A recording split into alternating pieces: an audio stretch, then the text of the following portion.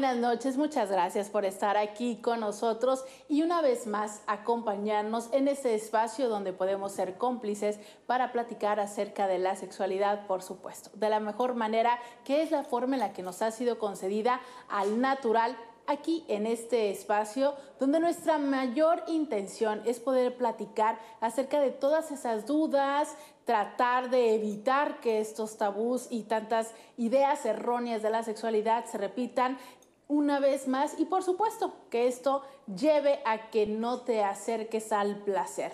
Para mí, Roberta Medina, psicóloga, sexóloga y terapeuta sexual, es un verdadero y gran placer poder volver a saludarte una vez más, contar con tu preferencia y por supuesto que quiero no dejar de invitarte a que nos busques en Facebook como Sexo con Roberta, nuestra página de esta comunidad, que cada vez somos más. Te pedimos que nos ayudes a compartirla y hacerla crecer, porque ahí nos encanta estar en comunicación contigo, saber lo que piensas, saber cuáles son tus dudas y por supuesto siempre estar platicando y compartiendo nuestra vida. Hoy me complace en poder tener la gran oportunidad de hablar de nueva cuenta de un tema que, bueno, sabemos nosotros que hace falta mucho hablar, explicar, compartir respecto a la transexualidad, los transgenerismos y también, por supuesto, toda esta información que muchas veces eh, cuando hablamos solamente desde la ignorancia, desde no saberlo, desde lo que en algún momento escuchamos y alguien más eh, se le ocurrió que podía ser cierto.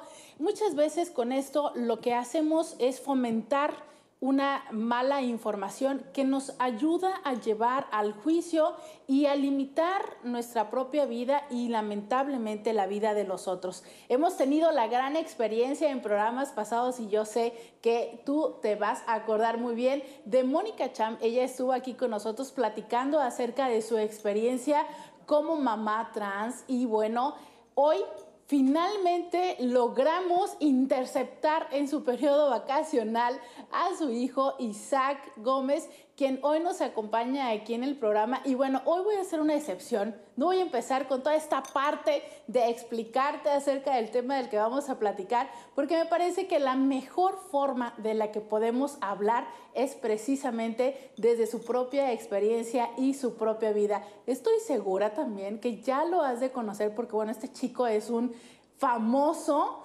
porque bueno, ha aparecido en todas estas partes, pero Hoy me es un placer poder recibirlo aquí. Isaac, qué bueno que estás aquí. La verdad me da mucho, mucho gusto platicar contigo. Muchas gracias por tenerme. Yo también estoy muy emocionado. Isaac, bueno, hoy queremos platicar, eh, finalmente en algunos otros momentos de este programa han venido personas que nos han platicado de transexualidad, pero creo que estarás de acuerdo conmigo en que un común denominador es incluso eh, constantes confusiones entre transexualidad, entre transgénero, entre transvestismo, que bueno, esto parece que es constante que las personas sigan confundiendo estas diferentes situaciones y entidades. Pues sí, sí, es muy, es muy confuso cuando no es parte de tu vida diaria, ¿no? hay muchos términos, pero, pero lo que yo digo cuando platico es que no, no nos enfoquemos en los términos, pero si alguien se identifica de una manera, pues también respetar eso, ¿no? Porque es una identidad y que te están compartiendo, ¿no? Entonces, si alguien se identifica como transexual o como transgénero, pues también respetar eso. Claro, y, fíjate, me parece muy interesante eh, la invitación que haces de irnos más allá de las etiquetas y solamente aceptar a la persona con esto que comparte. ¿Cómo es este proceso de darse cuenta? Eh, que creo que a la mayoría de las personas no entra mucho en reflexión porque, bueno, es algo que ya se les es dado y como no es como coincide, pues bueno, nadie nos cuestionamos mucho en qué momento te das cuenta de ser hombre o en qué momento te das cuenta de ser mujer. ¿Cómo fue esto para ti?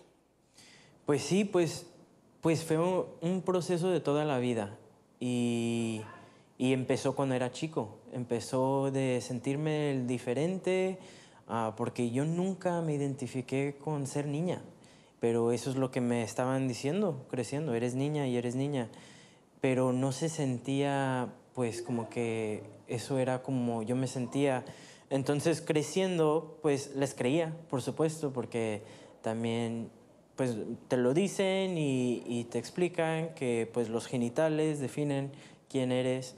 Entonces yo me lo creía, pero toda la vida crecí pensando, hoy sería mucho más fácil si era niño. Podía hacer esto y puedo hacer esto y puedo jugar este deporte y me puedo juntar con estos, con mis amigos sin que alguien me, me diga, ¿por qué te juntas con los niños? ¿O por qué te vistes así? Entonces fue un proceso largo de sentirme el diferente y hasta, pues hasta que llegué a, a la pubertad, cuando iba a entrar a la secundaria, fue cuando pues platiqué con mi mamá y le expliqué todos estos sentimientos de frustración, de que me siento el diferente, de que me gustan las niñas y quiero y yo me siento más como niño. Y pues allí empezó y despuesito de eso fue cuando ya cuando empezamos la transición. Y allí pues allí cambia todo, allí ya regresé a ser el niño feliz que que pues no sé, que, que quería ser siempre y que todos estos planes tenía cuando era chiquito. Yo puedo hacer esto si, si me dejan ser niño. Si hubiera nacido un niño, puedo hacer todas estas cosas. Y pues ya empecé a hacerlas y ya sentirme pues muy, muy cómodo en mi cuerpo y conmigo mismo. Y fíjate que me da mucho la atención porque aún, aunque ya han pasado muchos años, de esto, bueno, no tanto porque es muy joven, ¿no? Pero aunque ya han pasado años, todavía noto tu sonrisa de, de, decirlo, ¿no? Es, es, que ya soy niño, ya puedo hacer todas estas cosas. Sí, ¿no? Pues sí, es, es algo espectacular, es como tener un sueño toda la vida y se te cumple. Y, y no solo eso, pero se te olvida antes como la tristeza de no tener ese sueño ya se... Pues a mí se me, se me va olvidando porque ya soy niño ya soy hombre y no nunca cuestiono eso, ¿sabes? Porque es más tu vivencia, ¿no? O sea, es desde, desde chiquito yo recuerdo que cuando Mónica, tu mamá, estuvo acá con nosotros en el programa, decía que, bueno, era muy evidente como desde pequeño eh, tus juguetes y lo que tú querías hacer y, y, la ropa, ¿no? O sea, era, era como constante para ti el hecho de, de saber y de vivirte como niño. Sí, Sí, no tenía una etiqueta. Pues cuando era chiquito no pensé como me estoy vistiendo de niño, nada así. Era como me gustaba vestirme, era como me sentía cómodo. Y hasta mi mamá le decía, porque le preguntaba, ¿cómo les respondo a todos los niños que me dicen, ¿y por qué te vistes como niño si eres niña? Mi mamá les dice, pues les dices, no, yo me he visto como, como soy, yo me he visto como me siento cómodo. Y no dar explicaciones. Entonces, pues sí, yo, yo desde chiquito me hacía todas las cosas que, que quería y sí, pues estaban más inclinadas a, a lo que hacían los niños. Fíjate, eh, he recibido una pregunta, bueno, eh, afortunadamente agradezco de nueva cuenta a todas las personas que nos agradecen con su confianza. Y bueno, una pregunta que yo creo que, que me encantaría escucharte responder a ti, porque yo la puedo responder como ser sexóloga desde fuera, ¿no? Pero eh, la pregunta viene de un chavo y me dice, ¿cómo me doy cuenta si soy transexual? ¿Cómo es esto, Isaac? Dime en la experiencia, ¿cómo se dan cuenta? ¿Cómo tú le respondes a otras chicas y chicos que, con los que convives y que están en esta duda? ¿Cómo me doy cuenta que soy transexual? Uy, pues creo que es, es, bien, es bien difícil esa pregunta porque es, es algo muy personal y es algo, pues sí, muy personal, porque como yo lo pienso es que hay un espectrum, así se dice en español, hay un espectrum de, de identidades y de y de identidad de género. Entonces, si tú no te sientes, si tú te sientes como que el género que te asignaron en, a nacer no, pues no está muy, ¿cómo se dice? No te corresponde. No te corresponde. Pues eso yo, así yo lo veo, eh, así yo lo veo que si no te corresponde ese, ese género, entonces pues tienes señales de ser Y por ejemplo, hace un momento me decías tú, bueno, yo no sabía cómo responderle a las personas que me decían por qué me vestía de niño, pero tú nunca te cuestionaste ser niño. O sea, era realmente tú sentías ser un niño. Sí, pues sí, realmente lo sentía, pero también cuando te pregunta, cuando toda la gente, toda tu vida te dice, eres niña, eres niña, eres niña, te lo crees. Y no crees que puedes ser algo diferente. No, yo nunca pensé, a lo mejor voy a poder ser niño cuando crezca. No, no lo pensé así. Pero yo sentía una conexión y, y más como que me correspondía más el otro, más ser niño. ¿No? Entonces, no es como que lo sabía y me lo decía en la cabeza, soy niño, soy niño, porque no pensé que había esa opción. Nunca me imaginé que, que estaba esa opción. Entonces ya cuando mi mamá me dijo, sí, hay esa opción, y puedes ser niño y puedes vivir tu vida y puedes ser normal y ir a la escuela y, hacer, todo lo que, hacer todo lo que haces ahorita, pero, pero ser niño. Y dije, pues sí, sí, sí quiero, sí quiero eso. Y regresamos después de esta pausa comercial con un poco más acerca de la vida de Isaac Gómez. Ya volvemos.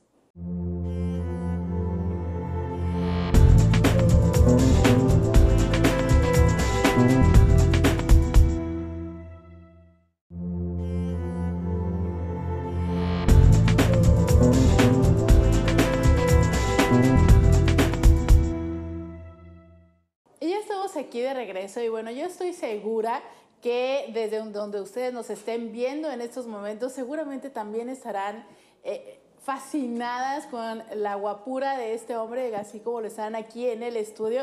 Y bueno, la verdad es que no solamente es eh, tu atractivo físico, sino bueno, tu sonrisa y la manera en la que platicas todo esto. Y, la verdad es que a mí me, me, llama la atención, Isa, cuando yo he platicado mucho con, otro, con otras personas que también han vivido o viven una experiencia trans, regularmente está mucha la tristeza presente, mucho enojo.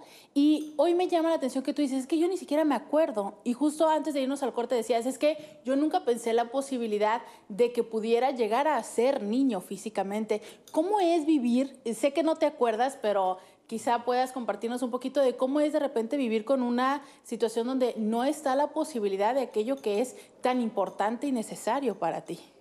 Sí, sí, pues muchas veces yo platico de lo bonito porque eso es lo que siento ahorita. Pero sí, sí hubieron muchos momentos que sí estaban muy difíciles, muy, muy difíciles, especialmente entrando a la pubertad, porque allí empezaron los cambios de mi cuerpo y allí fue cuando, cuando era chiquito yo jugaba con los niños y yo me vestía como, como me sentía cómodo, pero ya creciendo ya no podía hacer eso, porque ya me estaban creciendo las chichis, ya, ya cosas estaban pasando que yo ya no me sentía cómodo en mi propio cuerpo. Entonces eso sí fue cuando había muchas dificultades y, y también pues muchos retos, muchos retos que tenía que pasar y, y allí fue como por un año, dos años que estaba muy triste, muy triste y muy alejado de mi familia, que nunca lo era antes, y, y muy alejado de todos, porque yo no, me, yo no me sentía cómodo y no podía compartir pues no podría compartir con otros, ¿no? Lo que antes sí podía. Entonces, esos sí fueron unos momentos muy difíciles que, pero los pasé con, con la ayuda de mi familia y también con, la, con el apoyo y, y, también mucho, pues mucho tratando y, luchando y, y, ya cuando empezó la transición, eso fue lo, lo que me salvó, creo, de tanta tristeza fue que empezamos la transición tan, tan joven, o a los 13 empezamos.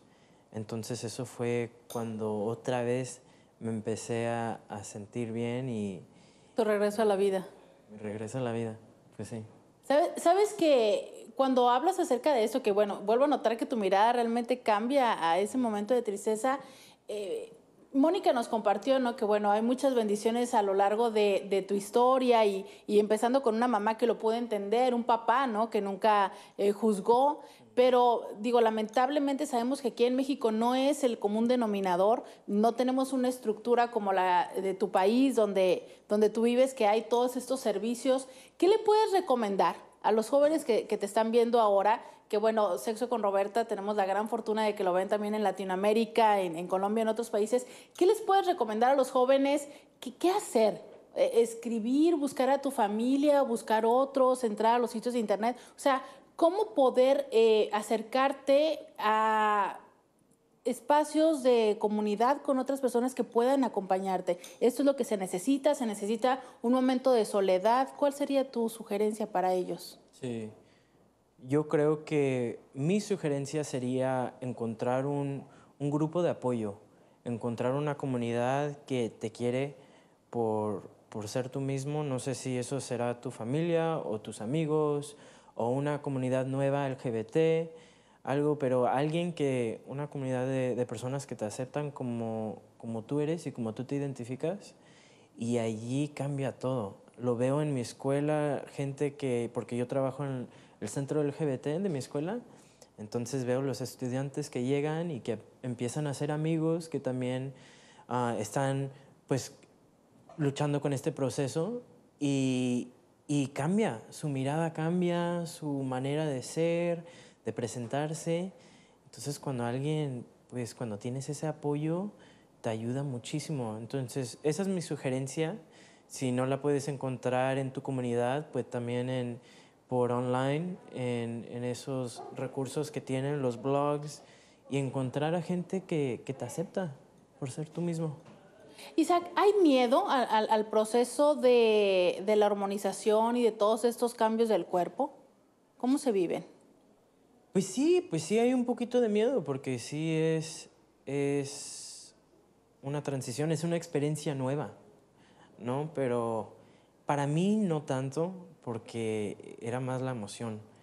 Creo que había un poquito de miedo, pero la emoción era muchísimo más. Entonces para mí solo, solo era como una aventura y, y, pues tomar los pasos para realizar este, este sueño, esta, esta vida que, pues que yo solo me imaginaba en, en, mis sueños, ¿no? Entonces, pues sí era más emoción para mí, pero también, um, pero también sí había un poquito de miedo de, no tanto de que me voy a arrepentir, arrepentir porque no, nunca creía que me iba a arrepentir, pero pero era más el miedo de cambiar, el miedo, miedo de algo nuevo, que no sabes cómo va a salir. Uh, así fue en mi experiencia. ¿Qué fue lo más difícil o qué ha sido lo más difícil hasta hoy? Lo más difícil creo que es pues eso de, de las novias y las niñas y tener que explicar unas veces y tratar de encontrar una niña que pues que que me acepte como soy. Creo que eso es lo más difícil. Y sí es complicado, digo, porque las mujeres son complicadas, ¿eh? O sea, yo siempre he dicho que por eso no soy lesbiana, porque, o sea, no, no, no, o sea, las mujeres son complicadas, ¿no, Isaac? Yo creo que en eso este, no, no, no difieres mucho de la mayoría de los hombres, ¿no? Pero ¿qué, ¿qué es lo complicado? O sea, el hecho de, son curiosas, te preguntas, son muy renuentes. No, pues sabes que yo he tenido una experiencia muy bonita con pues con todas las niñas con las que he salido y, todas las relaciones que he tenido, son niñas muy buenas que, que, pues sí, que me aceptan y que les digo y luego me dicen, oh, ok, qué chido. Les digo, pues tienes preguntas, eh, ¿me quieres? Sí, ¿estás interesada en algo? Y me dice, no, me preguntan cosas como, ¿y por qué escogiste ese nombre? O cosas así, chiquitas. Y se dicen, Isaac, eres el mismo que de que era hace, cinco minutos, que no sabía, ¿qué importa? Entonces yo he tenido una experiencia muy bonita, estoy muy afortunado, uh, muy bendecido, pero también creo que en parte es, pues, esas son las niñas que me atraen. Pues yo, las niñas buenas, las niñas que pues me quieren como soy y que sé que me van a apoyar, me van a apoyar sea lo que sea. Entonces también creo que es un balance de que sí estoy muy afortunado, pero también de, de tratar de encontrar esa gente que, que, te quiere. Y la verdad es que, digo, ustedes no están para saberlos, pero sí saben que siempre les platico de lo que pasa detrás de, de cámaras y la verdad es que es en serio que bueno, aquí en el canal algunas cuantas chicas están casi literalmente babeando por Isaac, entonces bueno, me queda muy claro que es bastante atractivo el chico para conseguir chicas, pero bueno, este, yo te puedo decir, Isaac, con tanto tiempo de sexóloga, que todas las mujeres son muy complicadas. Pero aprovechemos esa pregunta, ¿por qué, ¿por qué escogiste ese nombre? Sí, es cierto. ¿Isaac? Ajá. Pues porque cuando era chiquito, mi, mi hermana, que es mayor, y también mi prima, que tiene como la misma edad, a ella, ellas le gustaron, le gustaban, ¿cómo se dice, mamá? eh, querían a un niño que se llamaba Isaac. Las dos, un niño diferente, los dos niños se, se llamaban Isaac. Y eran bien cool, bien, bien guapos. Y yo dije, pues ese es nombre de un niño guapo, bien... Y cool y con pegue, o sea, lograste convertirte en eso. Entonces, no sé, me, me gustó el nombre por esos, por esos dos chamacos. Pero desde pequeño te habías puesto otro, ¿no? Tu mamá nos compartió, era Nico. Oh, sí, desde muy pequeño tenía el nombre Nick. Nick, y ese ¿no? ya es mi nombre, mi nombre de medio. Es Isaac Nicolás Gómez. Entonces, pues sí me lo puse. Si te quedaste con Nick. Sí me quedé con el Nick. Oye, y lo más, de lo más divertido que, que, que hasta hoy ha sucedido.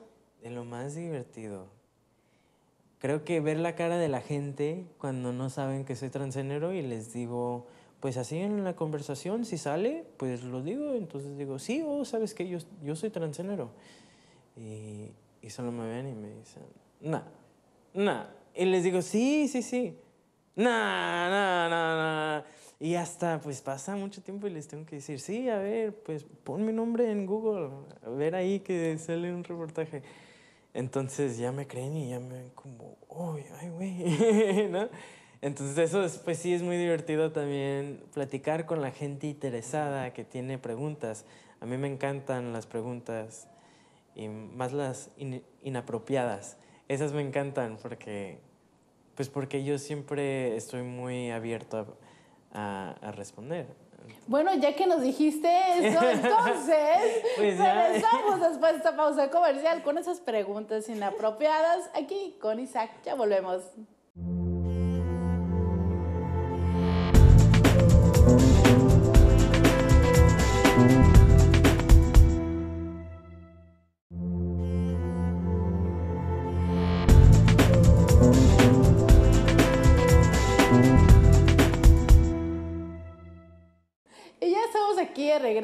Bueno, con todo el permiso de hacer estas otras preguntas, que bueno, ya nos ha dicho que es de lo más divertido. Y a ver, empecemos aquí en producción, nos mandan una pregunta que, ¿cómo te gustan las mujeres? ¿Qué tipo de mujeres te gustan? ¿Cómo me gustan las mujeres? No sé, me gustan. Me gustan las mujeres lindas. Me gustan las que. Las que. Ay, pues, no sé. Las que son muy.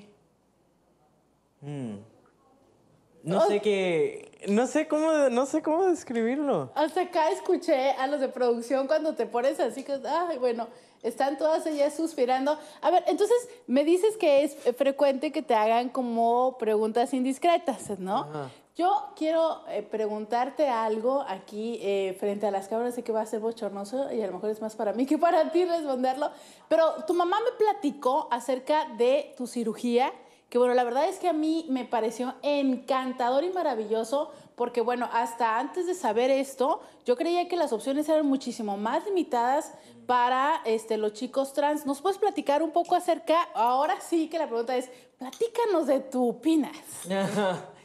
Pues no, sí hay muchas opciones. Sí hay muchas opciones y se están. ah, y ya están muy buenas, están muy buenas. Yo acabo de tener mi cirugía, este, pues el último verano, hace un año, en julio 27, algo así. Y, y me fue muy bien y ya estoy recuperado muy bien y hay muchas opciones. ah, no sé, te platico de los De- sí, tipos sí. De, de opciones Sí. o qué? Pues hay dos opciones para los que se van a female to male. Ah, y, y esas dos opciones son una que se llama phalloplasty y otra que se llama patoidioplasty. Ajá. Y la phalloplasty es cuando te hacen el phallus, el que te hacen el pene de, de la carne que tienes en tu hombro. Y luego te lo trasplantan y, cono- y conectan todos los nervios a, pues allá, allá abajo en tu pubis. Entonces, esa es una opción. Yo no me hice esa opción porque lo- no quería todas las, las cicatrices. Cicatrices. Sí, pero yo me hice la opción de la metoidioplasty, que es cuando... Metorio. Metoidio. Ajá, M-E-T-I-O. Metoidioplasty, que es cuando te hacen el, el alargamiento del clítoris. Cuando tomas testosterona, tu clítoris Crece. crece. Y, y este te, pues te, te lo hacen más largo y ya se ve como un pene chiquito, pero un pene, se ve como un pene. Y luego con los labios empiezan a hacer como los, los huevos, los testículos. Y te ponen unos implantes de testículos. Y ese es el que yo me hice porque se te queda toda la sensación, no pierdes nada de, de sensación erótica y, y, también se ve bien chido. Oye, ¿y, ¿y, puedes orinar entonces? Sí, puedo orinar parado y sí. ¿Cuál fue la, la, la, sensación de la primera vez que pudiste orinar parado? O sea, es que ya me acuerdo, ajá. Estaba en México, estaba, estaba en un bar en, en Barra de Navidad, por Guadalajara. Y fui al, baño de los niños y solo había cosa para orinar parado, parado. Entonces dije, pues esta va a ser la primera vez, ya me lo voy a echar. Y empecé a orinar y era un poquito difícil, pero, pero no, sí lo hice. Y ahí estaba mi amigo conmigo, porque él vino y luego él también tenía que orinar y solo ahí estaba. Y luego me vi y dijo, ¡Ey! ¡La primera vez! Y ahí estábamos festejando, que los dos estamos orinando parados. Pero, pero sí fue un momento pues muy chido, muy bonito y, y pues sí. La verdad es que, la verdad es que sí me imagino ese momento, o sea, y bueno, yo como niña creo que habría derramado algunas lágrimas en el, en el primer momento en el que es algo que es tan presente, ¿no? En las, en las personas trans, el hecho de ir al baño es como un recordatorio constante de que tu cuerpo no, no está de la manera en la que lo quisieras, ¿no? Sí. Entonces, la primera vez en que lo logras ver concordante con lo que eres, me imagino que es el liberador. Sí, sí es, sí es, es un momento muy bonito. Oye, pues aquí siguen las preguntas llegando y nos preguntan que, bueno, después de este proceso, ¿cuál es tu posición favorita? ¿Cuál es mi posición favorita? Pues creo que la normal, la misión, ¿cómo se dice? Misionero. Misionero. Sí, esa, esa me gusta. Esa está, esa está chida, porque luego puedo pues, controlar la situación. no está nada tan, tan difícil a ver cómo hallarle. Entonces, pues sí, esa es mi posición favorita. Oye, ¿y todavía ah, está el nervio en ti cada vez que le vas a decir a las chicas o ya llegaste al momento de decir, bueno, si no quieren, next, al cabo es que tengo aquí a, la lista esperando? No, por supuesto que hay nervio por supuesto que siempre estoy, pues no siempre estoy nervioso, pero ya cuando va avanzando la relación y ya cuando llega el momento que yo creo que está adecuado para, para decirles, si no saben todavía, porque muchas ya saben, pues sí me pongo, sí, sí hay nervios, por supuesto, por supuesto. Um, sí, creo que siempre van a estar. Oye, Isaac, eh, eso me imagino que es una decisión, eh, bueno, cada persona lo vive, ¿no? tu decisión es decirlo antes o empezar la relación ya hasta que vayamos a llegar ya al plano erótico se lo dices o tú prefieres que desde un principio las, las chicas lo sepan? ¿Cómo es esto para ti? Pues depende, depende de cada chica, depende de la situación. Muchas ya saben, pues porque si son mis amigas ya, van a saber. Um, pero también depende si, si sale en la conversación. Yo yo casi nunca, si sale, no voy a mencionar nada. Yo siempre, pues sí, digo, si sale, oh, ¿sabes qué? Yo también, yo también soy así, algo así. Pero, pero también si no sale y nunca platicamos de eso, entonces, pues yo ya, ya cuando se van a poner las cosas íntimas, ya es cuando tengo que sacarlo, uh -huh. ya tengo que empezar esa conversación. Oye, eh, he sabido, al menos en México, hubo un caso muy sonado de un chico transexual con una chica transexual. Oh. ¿A ti te ha llegado a traer alguna, alguna chica transexual? Eh, ¿Haces alguna diferenciación o dices, no, no, no? Pues no, pues no hago una dif diferenciación, no ha, no ha llegado esa oportunidad. Nunca he conocido una chica transexual que tenemos esa conexión, um, pero pero tampoco me... Sí, pues sí, solo es una chica. Como yo soy un chico, es una chica, entonces no, pues no me importa. Porque fíjate que, que eso sí me parece muy interesante de cómo a veces manejamos una situación donde nosotros buscamos que nos acepten de una forma y no aceptamos, ¿no? Y eso no nada más es en lo trans, no sé, a veces este, hasta en el mismo sobrepeso, ¿no? O en las estaturas y todo. Entonces, bueno, esa es, es una manera en la que a veces no somos eh, parejos en esta situación. Y alguna de, de, las aventuras, porque bueno, creo que hay una parte también de, de tristeza, y ya la platicamos acerca de esto, pero eh, en estos grupos en los que tú has estado, ¿Has encontrado que la relación entre las personas trans es diferente? O sea, la relación eh, emocional, de compañerismo, de apoyo, ¿es diferente entre las personas que saben a las que no saben contigo? Las personas que saben y las que no saben, si yo estoy teniendo una relación con una persona que no sabe, que sí sabe. Eh, por ejemplo, eh, ¿tú, ¿tú encuentras que hay una forma diferente de responder a las personas cuando saben que eres trans o cuando no saben? O entre los grupos de entre personas trans este, son amigos más solidarios, se apoyan más. O sea, ¿tú has vivido el rechazo de personas que no lo son y que te juzgan? Pues yo nunca, yo nunca lo he vivido, pero, pero no tanto, no es, yo no, yo creo que solo yo a lo mejor actúo en una, en una manera diferente con ciertas comunidades, pero no creo que es específico si esas comunidades son trans o saben que yo soy trans o no, porque trans es solo una parte muy chiquita de mi vida. Yo a mí, pues yo tengo muchas cosas que, que me interesan, en las que estoy involucrado, entonces ser trans es, es una parte bien chiquita. Fíjate que esa, esa frase me encanta porque creo que esa es para mí la intención de ese programa, que quienes nos puedan llegar a ver y que se vivan en esta situación logren eh, esforzarse y luchar por ese sueño para que eso solamente se convierta en una característica más de su vida.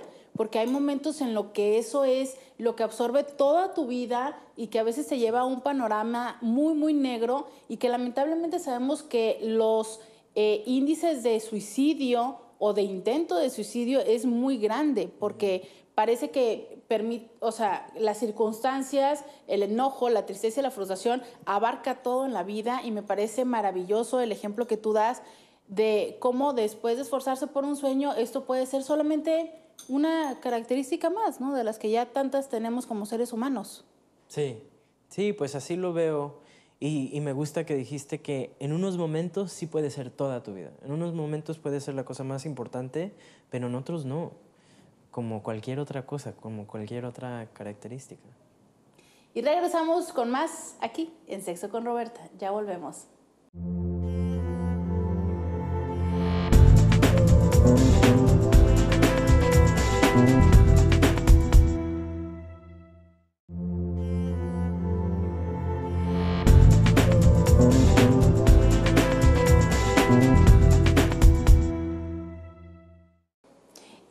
Supuesto que ya estamos aquí con nuestras secciones tradicionales y que cada semana preparamos con mucho esmero y por supuesto con la mejor intención. Te pedimos que nos envíes tus comentarios a nuestra página de Facebook Sexo con Roberta y por supuesto a nuestro canal de YouTube, youtube.com diagonal Roberta Medina. Y por supuesto que no puede faltar la posición de la semana.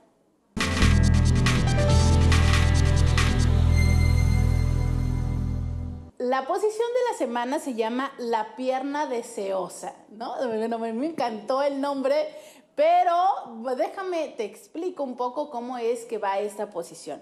Él se pone parado y la sostiene de la cadera, a ella por supuesto, ¿no? Ella, estando también parada, pasa una pierna por la cintura de él y bueno, para que se mantenga ahí un poquito el equilibrio, él ayuda a que esta pierna suba hasta el hombro de él, o sea, básicamente ella quedaría algo así y entonces él se deberá acomodar cerca de ella para lograr la penetración. Por supuesto que suena a una posición bastante divertida y entre estos, pues bueno, ya puede seguir con esta moda de los sex fit, ¿no? Este hashtag que está ahora corriendo mucho en internet, donde las personas se ponen en posiciones sexosas y bueno, ahí demuestran todas sus habilidades de ejercicio y de buen cuerpo, la suben a internet. Y bueno, esta es una maravillosa posición que si logras hacerla, perfecta toma te dará para un hashtag de sex fit y también, por supuesto, que ayuda a estirarte, a ejercitar las caderas, pero por supuesto que, bueno, más vale que tengas donde caer porque de repente, imagínate que podría ser peligroso el sentón. Y por supuesto, yo te recomendaría que si tú como mujer quieres probar esta posición, pues al principio lo trates con la pared, ¿no? O sea, no necesariamente tiene que estar tu pareja frente a ti, tú puedes ver qué tanto puede levantar la pierna, qué tanto te puedes sostener en una pierna, ¿no? Y así vas practicando, ampliando tu espectro de posiciones de yoga y bueno, ya vas estando lista para esta posición con él. Entre los contras está que, bueno, por supuesto, ambos tienen que tener muy buena condición física y ser muy flexibles y la idea de la estatura aquí sí cobra importancia, porque imagínate que las caderas estén como muy desfasadas por la estatura, esto va a ser complicada la penetración. Bueno, siempre está la opción de que ella o él puedan utilizar un banquito para que las caderas se nivelen. ¿Cómo, cómo ves la posición de la semana? ¿Qué, opinas de nuestra posición de la bien divertida, ¿no? Sí, pues está bien, pero sí tienes que tener mucho, tienes que hacer mucho ejercicio para Sí, mucho las yo, yo la verdad, yo los invito a que por favor, no, por favor, nos contesten en nuestra página de, de, de Facebook ¿Cuánto tiempo pueden durar con esta posición? no creo que puedan durar mucho, pero bueno, ya saben, siempre la propuesta para nosotros es al menos trátalo, ¿no? O sea, digo, ya puedes decir que no te gustó, puedes poner un cojín, pero a lo mejor en, en, la parte de estarlo probando bastante, te vas a divertir y eso siempre es lo importante. Pero por supuesto que para divertirte también tenemos la propuesta de el juguete de la semana.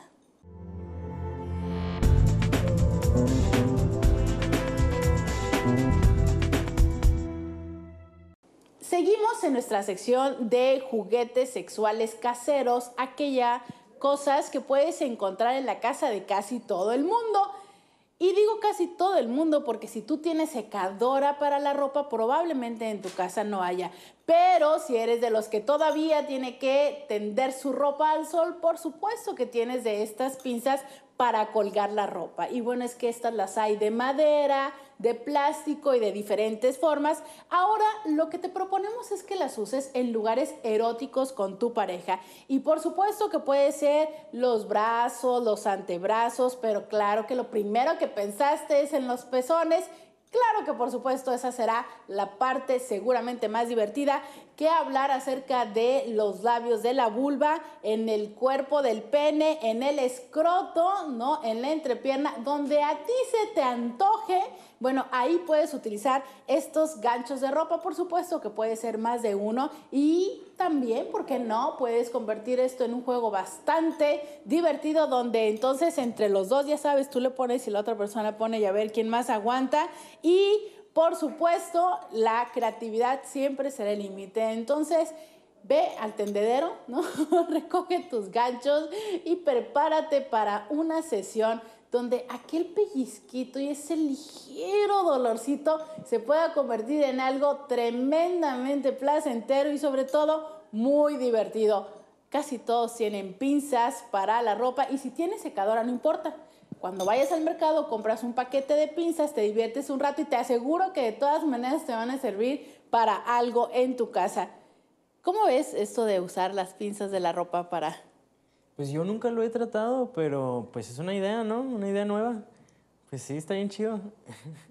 Y por supuesto que sabemos que eso es placentero porque, bueno, las pinzas en los pezones hacen mucho tiempo que se usan, que mejor que si ya las tienes allá en la casa, les des esa utilidad y claro que también, como cada semana, la tarea de la semana.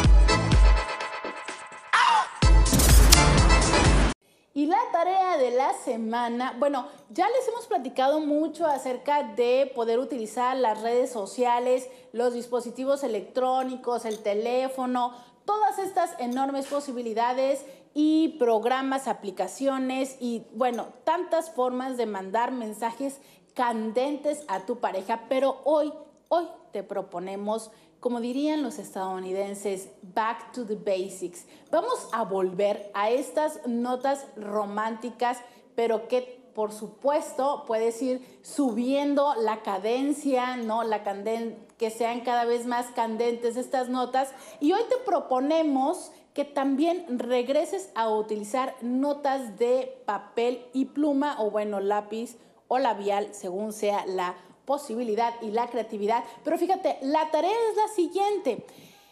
Date la oportunidad de escribirle notas, ¿no? Sería padrísimo que vayas incrementando eh, el contenido de las notas a través de todas las cosas que tu pareja llegue a ocupar, ¿no? Por ejemplo, si se va a trabajar, pues bueno, el pantalón mínimo tendrá de tres a cuatro bolsas, puedes dejar notas dentro del saco, dentro de la camisa, dentro de la cartera, dentro de los zapatos, puedes incluso ir al carro, a la guantera si le pones lonche dentro de la lonchera, ¿no? Y aquí el reto es que logres hacer la mayor cantidad de notas, por supuesto si tienes acceso a la oficina, algunas otras cuantas dejarlas por allá, quizá conseguirte algunos cómplices y la mayor cantidad de notas que puedas enviarle a tu pareja a la antigüita, pero por supuesto con unos mensajes donde le hagas saber ya sea lo importante y con un contenido romántico para la otra persona o qué mejor que le puedas anticipar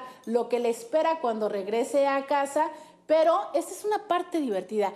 Trata de esforzarte al máximo y esto sí, ofrecemos un regalo por parte de Sexo con Roberta a la persona que en Facebook nos mande la mayor cantidad de notas que hicieron y por supuesto fotografía de ellas, porque si esto es un reto que lanzo a través de nuestro programa. Quiero saber cuántas son la mayor cantidad de notas que alguna persona creativa que nos escuche y nos vea puede lograr hacer con su pareja. Y bueno, la verdad es que también si hay tú tienes una pareja mujer, bueno, tienes como 80 mil lugares más donde ponerle, ¿no? Las mujeres traemos la bolsa, la cartera, la cosmetiquera, este, mil, lugares. Entonces, aquí la historia es que te pongas las pilas, empieces a dejarles estas notas secretas que por supuesto le puedan ir anticipando algo bastante divertido, la puerta, ¿no? Por donde tiene que salir, quizá la manivela del carro.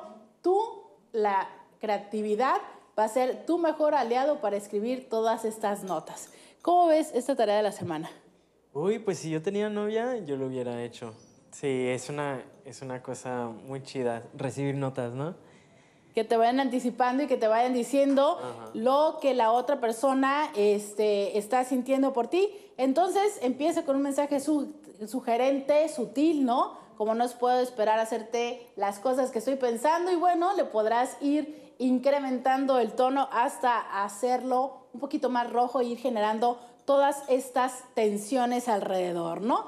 Y bueno, por supuesto, eh, puedes encontrar muchas sugerencias a través de internet. Cuando sientes que se te acabe la creatividad de qué escribirle, pues bueno, busca algunas otras opciones que también te estaremos dando en nuestra página de Sexo con Roberta, donde podrás encontrar la posición y todos estos programas. Y bueno, pues la verdad es que eh, he disfrutado muchísimo la gran oportunidad de poder haberte robado de tus vacaciones ahora que estás visitando acá a tu mamá, porque bueno, algo que creo que también es parte del orgullo de tu familia es tus estudios universitarios, en dónde los estás haciendo, platícanos un poco acerca, porque eh, justo también nos decías que estás trabajando en el centro comunitario GLBT de tu universidad. Sí, sí, pues ahorita yo estoy, acabo de acabar mi segundo año en Stanford uh, University y estoy muy, muy feliz de estar allí, me la estoy pasando muy chido. Pues logramos eh, robarlo de una un día de visita de con su mamá para poder tenerlo aquí en Sexo con Roberto y bueno, estoy segura que también ustedes han disfrutado mucho de esta charla y conversación. Isaac, muchas gracias por estar con nosotros y bueno, este algún lugar, alguna red social donde alguien que pueda estarnos escuchando y viendo este programa, si quiere estar en comunicación contigo, pueda buscarte. Pues en, en Facebook, en Facebook estoy y pues no sé, por email por email si quieren ah, mandarme un email, si te quieren contactar a ti en tu Facebook y si tú les mandas el, email, pues sí, estoy muy dispuesto.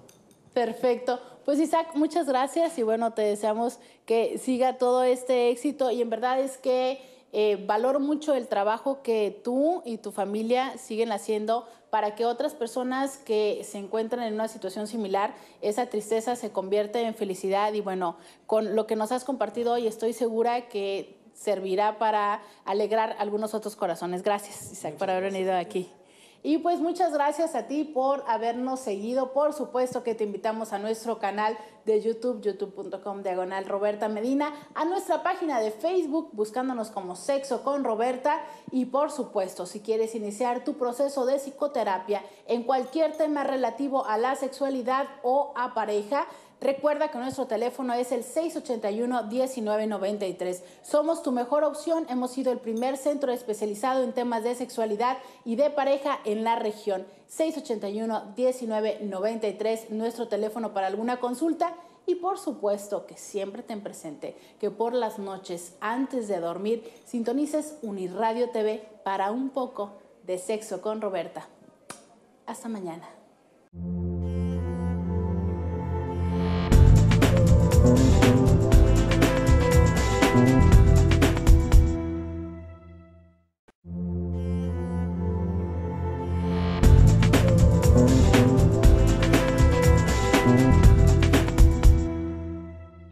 Quieres solucionar un problema personal, algo en tu relación de pareja o solamente quieres consejería, algunas preguntas respecto a la sexualidad, por supuesto, márcanos 681-1993, el centro especializado en psicología y sexología integral, el primero en la región con más de 8 años de experiencia. Somos tu mejor opción. Roberta Medina, psicóloga, sexóloga y terapeuta sexual, 681-1993 o búscanos en Facebook como Sexo con Roberta. thank you